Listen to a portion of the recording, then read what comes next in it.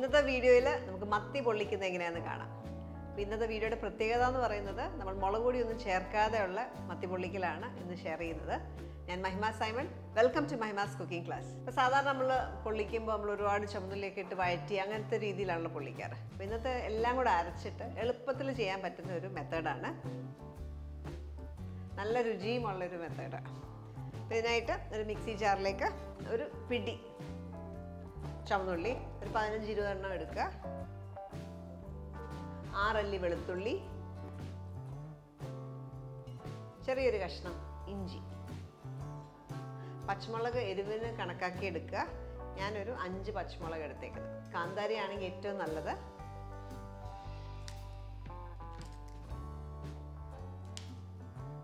കൂടാതെ ഇതിലേക്ക് കുറച്ച് പെരിഞ്ജീരകത്തിന്റെ പൊടി ചേർക്കാം. ഒരു ടീസ്പൂൺ പെരിഞ്ജീരകം പൊടിച്ചത്. കുരുമുളക് പൊടി അര ടീസ്പൂൺ മുക്കാൽ ടീസ്പൂൺ ഉപ്പ്.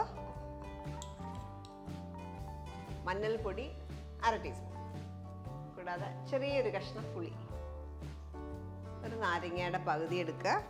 അതിന്റെ നീരൂടെ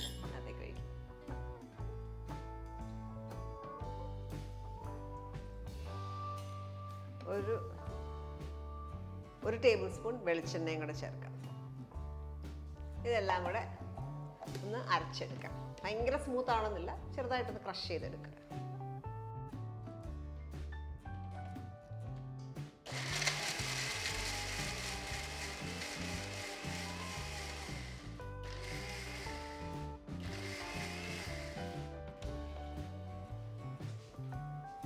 ഒരു രീതിയിൽ കിട്ടി. ഇനി ഇതിലേക്ക് കറിവേപ്പില ഇടാം. കറിവേപ്പില ഒരുപാട് അരിഞ്ഞു പോകണ്ട.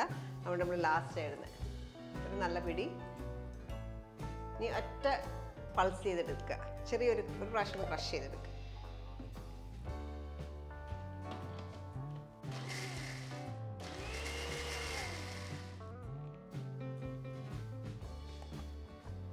ഇതേപോലെ കിട്ടി. ഇപ്പം നമ്മുടെ മസാല റെഡിയാണ് ടേസ്റ്റ് ചെയ്ത് നോക്കി ഞാൻ ഉള്ളിലൂടെ ഉപ്പ് ചേർത്തിട്ടുണ്ട്. അതേപോലെ ഇവിടെ മത്തി റെഡിയാക്കി വെച്ചിട്ടുണ്ട്. അര കിലോ മത്തിയാണ്. ക്ലീൻ ചെയ്ത ശേഷം വെയ്യ് നോക്കുകയാണെങ്കിൽ ഏകദേശം ഇരുന്നൂറ്റമ്പത് ഗ്രാം ഇരുന്നൂറ്റമ്പത് മുന്നൂറ് ഗ്രാമേ ഉണ്ടാകത്തുള്ളൂ. ഇനി നമുക്ക് ഇല റെഡിയാക്കി എടുക്കണം. വാഴയിലയിലാണ് പൊള്ളിക്കുന്നത്. ഇല ചെറുതായിട്ടൊന്ന് ചൂടാക്കി എടുക്കുക. മടക്കുമ്പം കീറാതിരിക്കാനായിട്ട് ഇത്ര മതി. ഇതേപോലെ ഒന്ന് വാട്ടിയെടുക്കുക. മസാല കുറച്ച്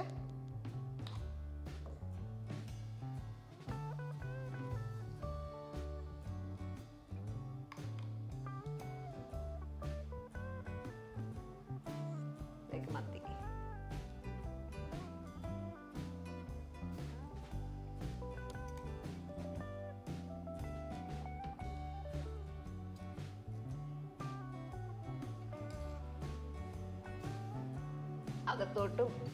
മത്തി വരഞ്ഞിട്ടാണ് എടുത്തേക്കുന്നത്. വരഞ്ഞില്ലേലും കുഴപ്പമില്ല. അത് ചെറിയ മത്തിയാണ്. അതുകൊണ്ട് കുഴപ്പമില്ല.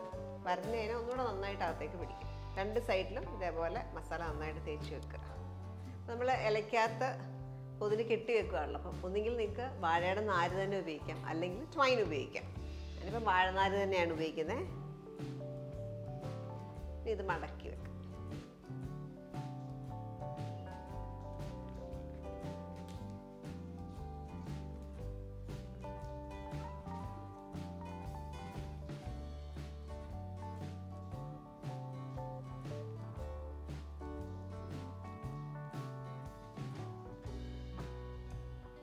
ഇതേപോലെ മൂന്നെണ്ണം വീതം ബാക്കിയുള്ള മത്തി ഇതേപോലെ പൊതിഞ്ഞ് വെക്കാം. നമ്മൾ മത്തിയെല്ലാം പുരട്ടി റെസ്റ്റ് ചെയ്യാനായിട്ട് ഒരു പത്ത് പതിനഞ്ച് മിനിറ്റ് വെക്കുക. അതിനുശേഷം നമുക്ക് പൊള്ളിച്ചെടുക്കാം. പൊള്ളിക്കാനായിട്ട് ഞാൻ മൺചട്ടി തന്നെയാണ് പൊള്ളിക്കുന്നത്. ചട്ടിയിൽ കുറച്ച് എണ്ണ.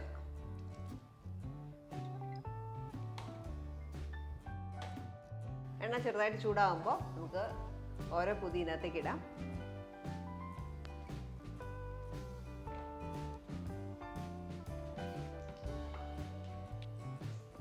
രണ്ട് സൈഡും ബ്രൗൺ ആണ്. ഇല മൊത്തം നന്നായിട്ട് ബ്രൗൺ ആവും. ആ ഒരു പരുവം വരെ കുക്ക് ചെയ്യുക ഇപ്പം തീ ഹൈ ഫ്ലെയിമിലാണ് കുറച്ച് കഴിഞ്ഞ ശേഷം ഞാൻ തീ കുറച്ച് വെക്കും. അങ്ങനെ വെച്ചിട്ട് വേണം കുക്ക് ചെയ്യാനായിട്ട്. ഞാൻ ആദ്യത്തെ ഒരു മിനിറ്റ് ഹൈ ഫ്ലെയിമിൽ വെച്ചേക്കായിരുന്നു. അതിനുശേഷം തീ കുറച്ച് അഞ്ച് മിനിറ്റ് വെച്ചു. തിരിച്ചിടാം.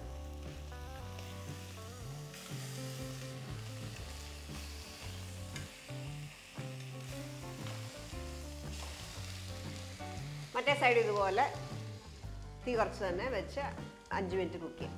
ഞാൻ അഞ്ച് മിനിറ്റ് പറഞ്ഞെങ്കിലും അഞ്ച് മിനിറ്റിലായിട്ടുണ്ടായിരുന്നില്ല കുറച്ച് സമയം കൂടെ വെച്ചു. ഇപ്പം ആയിട്ടുണ്ടാവും. അല്ലെ രണ്ട് സൈഡും നന്നായിട്ട് ബ്രൗൺ ആകുമ്പം മീനകത്ത് കുക്ക്ഡ് ആയിട്ടുണ്ടാവും.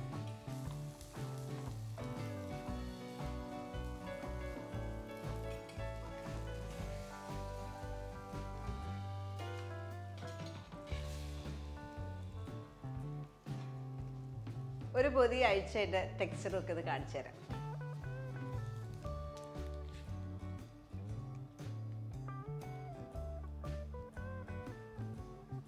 സെർവ് ചെയ്തതിന് തൊട്ട് മുമ്പായിട്ട് കുറച്ച് എണ്ണ പച്ച വെളിച്ചെണ്ണ കുറച്ച് എണ്ണ ഒഴിച്ചിട്ട് സെർവ് ചെയ്യും. അപ്പോൾ ഇതേപോലെ എണ്ണയൊക്കെ ഒഴിച്ച് നമ്മൾ ഫ്രഷ് എണ്ണ പച്ച വെളിച്ചെണ്ണ ഒഴിച്ച് സെർവ് ചെയ്യുമ്പോൾ പ്രത്യേക രുചിയാണ്. ഞാൻ ഇന്ന് പച്ചമുളകാണ് ഉപയോഗിച്ചായിരുന്നു കാന്താരി കയ്യിലുണ്ടെങ്കിൽ കാന്താരിയാണ് ഏറ്റവും ബെസ്റ്റ് അപ്പോൾ ഈ ഒരു പ്രിപ്പറേഷൻ എന്ന് പറഞ്ഞാൽ നമുക്ക് ചപ്പാത്തിയുടെ കൂടെ ചോറിന്റെ കൂടെ കപ്പ പുഴുങ്ങിയത് അല്ലെങ്കിൽ കപ്പ വേവിച്ചതിന്റെ കൂടെ ഒക്കെ നല്ല കോമ്പിനേഷനാണ് പുട്ടിന്റെ കൂടെ നന്നായിട്ട് പോകുന്നൊരു കോമ്പിനേഷനാണ് ഈ ഒരു പൊളിച്ചത് ട്രൈ ചെയ്യുക. എന്നിട്ട് നിങ്ങളുടെ ഫീഡ്ബാക്ക് അറിയിക്കുക. അടുത്ത വീഡിയോയിൽ നമുക്ക് വീണ്ടും കാണാം. Thank you for watching my mass cooking class